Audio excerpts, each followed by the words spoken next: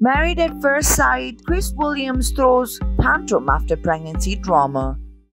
Hey guys, welcome to our channel. For more updates on the celebrities, hit the subscribe button and hit the bell icon to never miss a video.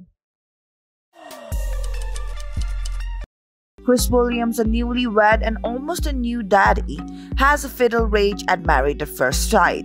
According to the recent clip from Wednesday, William is seen rousing up some drama during their honeymoon trip to Las Vegas. In the clip, he says, They have been disrespectful all week, so I'm going to make life a living hell on this fucking bus.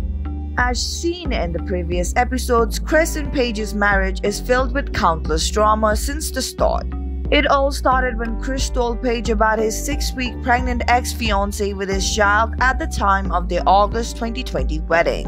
In the previous week's episode, the couple told the other four couples Clara and Ryan, Haley and Jacob, Briana and Vincent and Virginia and Erik about the situation. Recapping the incident, Virginia and Erik thought they were only kidding around with direct comments. Chris and Paige took issues with their jokes. It was an issue with the stuff that was said, Williams says in the clip. And I apologize, Virginia offers. If you're being disrespectful as to me, I don't give a about you. Williams then says before the whole cast have a screaming match.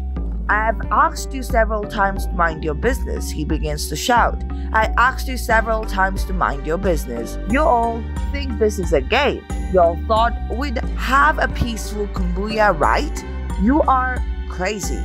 With all the screaming and chaos, the pregnancy news by Chris was hardly the most controversial thing in the show. Before that, he stated he wanted submissive wife and he had engaged to another woman only three months ago before joining Married at First Sight.